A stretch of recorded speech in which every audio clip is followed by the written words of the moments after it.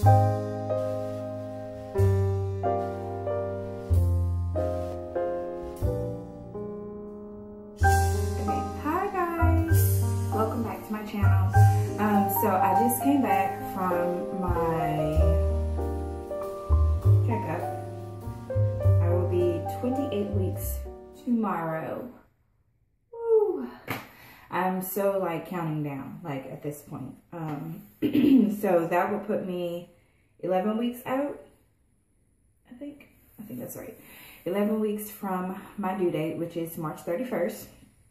So, um, I don't know if you guys can see my belly, but um, this is me. Uh, I'm filming in my bathroom again. Uh, actually, simply out of convenience. Like I came in my bedroom and I was like, oh, you know what? Let me go ahead and record this video. so that's why I'm in my bathroom again. So, not to mention my son is asleep and I don't want to be um, too loud in the front room. Um, anywho, so came back from my checkup. Gonna tell you guys about my checkup. Uh, I did my glucose test and did all that. And then I also wanted to go ahead, I'm a planner. And so I've already like gotten my ducks in a row as far as, okay, my kids go, if I go into labor in the middle of the night, who's gonna have the kids? Um, if I'm due in March, so still school, and my daughter, she's nine, she's still, you know, she's in school. So who's gonna have her? Who's gonna take her back and forth to school for the three days I'm in the hospital? You know, like all that. So I got that taken care of. And the other thing I wanted to go ahead and start discussing with my doctor was my birthing plan. When I had Nadia, I did get an epidural. When I went through labor with Raylan, the plan was not to get the epidural, but I did end up getting the epidural. That right there, let me tell you right quick. So I was planning to go natural and it had been about 12 hours of labor. And when she came in and checked me, um, I was only four centimeters. I was livid. I was so mad. I was like, forget this. Give me the epidural. Because I thought surely like I was like eight centimeters, you know, like, anyway, I wasn't. So I ended up getting the epidural, okay? So this time I was like, I'm, I'm going to get the epidural. That's what I'm just to go ahead and do that. But my thing was, I didn't know, should I get it at a certain centimeter? Should I, when should I do it? Does it help progress, you know, faster? Does it slow it down? Like, you know, all these, I had these questions and I didn't do my research this time like I usually do. I'm such a researcher. I just went to my doctor with this. So she had told me that they had actually just put out an article about this, blah, blah, blah. Anyway, it does not do anything. The epidural does not speed it up, slow it down. does not help. It simply helps with the pain. It That's it. It does. It's not going to help your labor and delivery any faster or any slower. And that was my main thing. So what I've decided to do is I am going to um,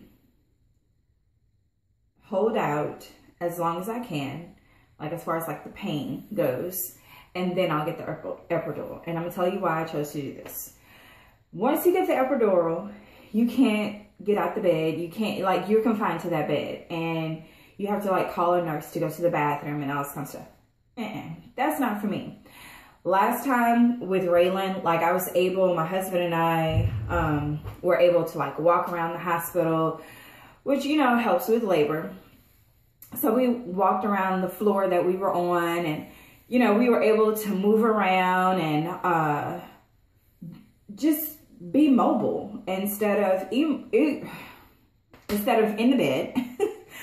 and um, that's what I prefer. So I'm gonna hold out as long as I can, and then I'll get the epidural because that's just how it's gonna go. So that's that with my birthing plan. The other thing I want to talk to her about was my um birth control. So we don't want any more kids. Uh, Riley was a surprise. So I, I want to take the steps that I need to take. so um, I was discussing this with her and I told her that I wanted to do the 10 year. So I'm bringing this up because I actually want you guys opinion on this. If you know anything about it or I've already done a little bit of research. I've already uh, read several reviews from women who have it um, or have had it. Um, my mom actually wants me to get my tube tied. That's what she did. I did my research last time when I had Raylan. Um, well, during the time I was pregnant with Raylan, about having my tube tied. And it just, like, I just didn't hear good things and it's just, I was like, I didn't want to do it. And, um, so I didn't. And, um, my mom is like, make sure I do my research, da da da, which is who I am anyway. That's what I do. So anyway, this is what it is. I hope you guys can clearly see it. Okay, and um, it's the Paragard, and they also call it the Copper. And the all the reviews that I read were good. Like they have a 7.5 rating um, from reviewer, reviewers. That's their average. Um, so, I don't know. I'm leaning towards this. The only things that I've heard, because it's not hormonal, uh,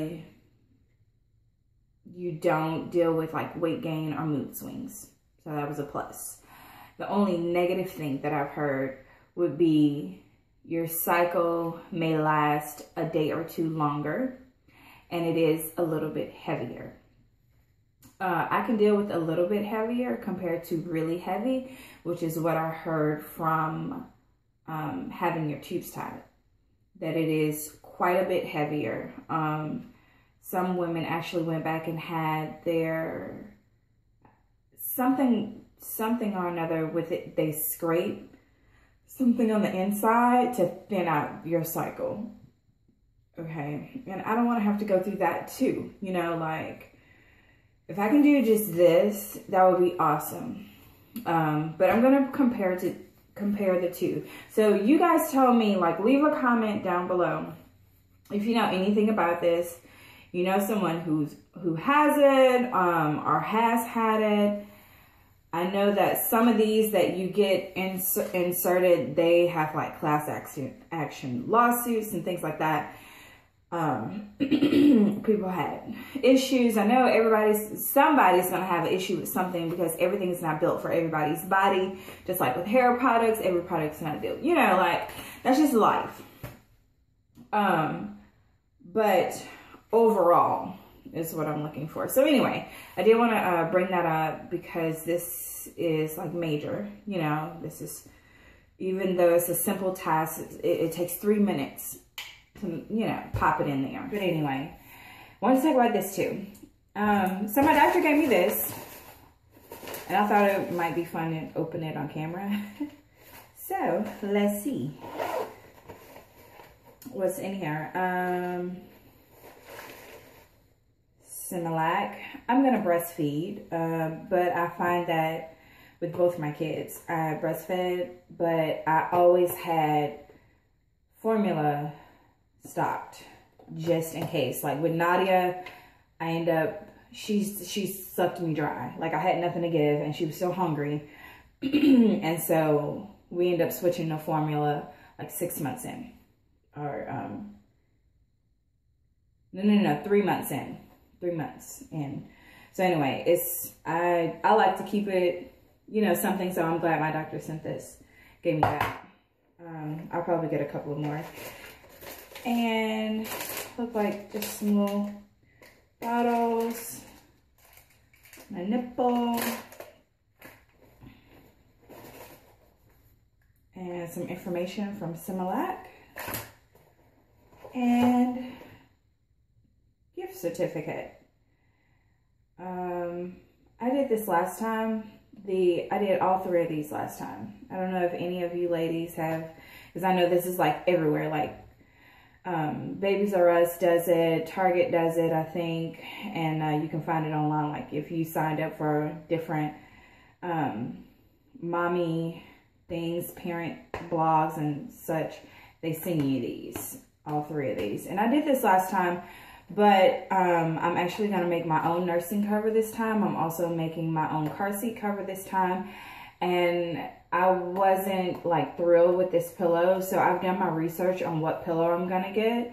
And I'll do a, a review and so forth on the pillow that I get. But um, this one wasn't good enough. I want one that actually snaps around my back and stay in place. So I won't be doing this one, nor will I be doing the boppy. Um, anyway, so we'll talk about that more later. So anyway, that's all that was in there. Um, and honestly, that's all I had to discuss. I'm glad to be, you know, leaning towards the end. Um, I am now in prep mode. So you can expect more videos because I'm, I have plenty to talk about and plenty to show you. so, um, anyway, that's it for today's mommy video. And I will see you guys next time. Thank you so much for watching. And I hope that I help. And you guys can help me by commenting down below.